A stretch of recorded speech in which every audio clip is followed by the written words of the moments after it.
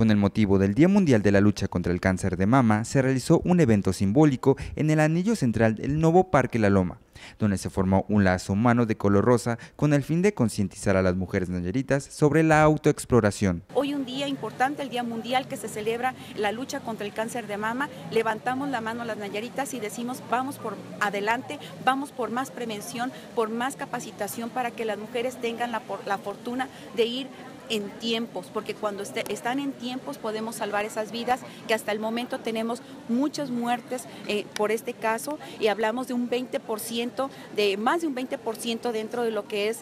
las mujeres que llegan, llegaron 90 mujeres eh, ya con problemas de cáncer ya muy avanzado, de las cuales desgraciadamente pueden morir hasta 60. La presidenta del DIF estatal explicó que diariamente se diagnostican tres mujeres con esta enfermedad. Es por estas cifras que la unidad móvil con mastógrafo estará recorriendo los 20 municipios nayeritas para que las mujeres puedan realizarse su chequeo sin ningún costo. Estaremos haciendo recorrido por todo el estado para que pueda llegar a todos los municipios, eso es muy importante, que no tengan que venir a la capital a hacerse un estudio, sino que estemos eh, ayudándolos con, por medio de este masógrafo que está por todos los municipios y lo más importante, que está totalmente gratuito. Por último, Ana Lilia López de Sandoval reveló que se está trabajando en un nuevo programa de ayuda de apoyo a familias con cáncer. A fin de mes de octubre estamos abriendo las puertas para este nuevo proyecto, este nuevo programa que va a ser un programa alternativo con medicina alternativa,